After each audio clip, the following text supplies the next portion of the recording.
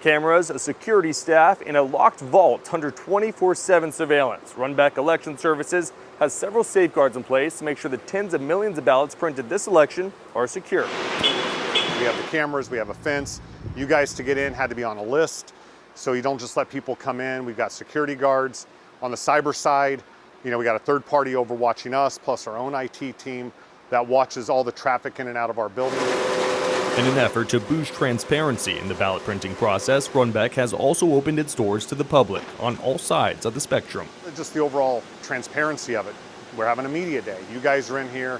We've done tours for both the far right, the far left, everybody in the middle. We've had politicians in, we've had civics groups in, we've had church groups in, um, people mixed on both parties, just trying to explain here's what happens. And we walk them through it.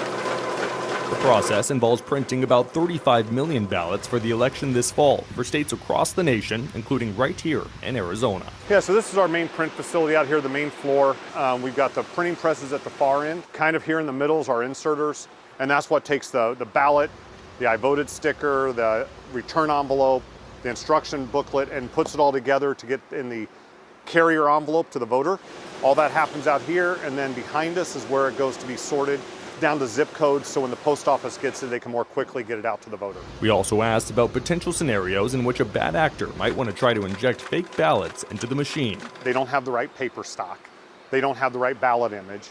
They don't know how to align the, the right ballot style to the right voter. And all those are handled here by different people and different parts of the process. Runbeck plans to start printing this weekend for ballots that will be sent across Arizona. For the ABC 15 political team, I'm Ben Brown.